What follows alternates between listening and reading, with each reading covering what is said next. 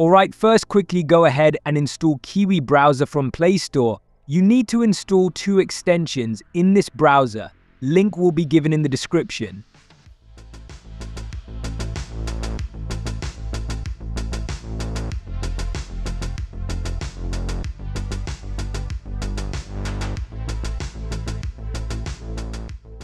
Now go to Telegram web version and log in to your account.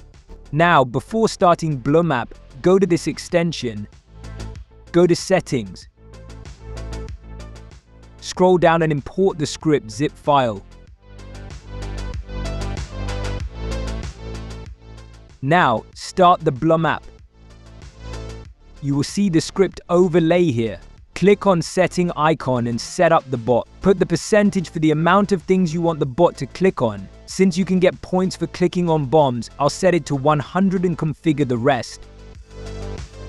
Now click on play button to start the bot.